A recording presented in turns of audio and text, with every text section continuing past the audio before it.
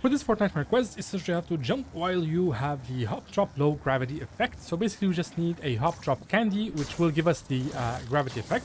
And basically to do that you can go to uh, either of these like maybe Wise, either Greasy Grove, the Towers, Chrome, Chrome Crossroads. Either either of these will work. And basically you can either uh, e like um, uh, click on like doorbells to get the candy, or you can just open like uh, pumpkins, little pumpkins in front of houses, and you'll find candy inside of it. Uh, personally, I, I like doing this. Just go to the um, to the ring to the bell, just ring it and get the candy.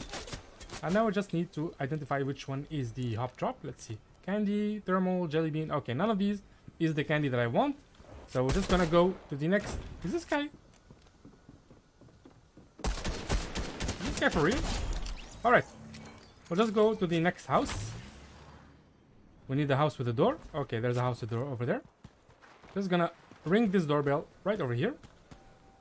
And get some more candy. We have thermal ah there it is. Okay so this is the hop drop as you can see. Let me take a screenshot of this just to make a, um, a thumbnail. And basically just gonna eat this and jump with the low gravity as you can see. So it's very very simple. You just need to keep jumping.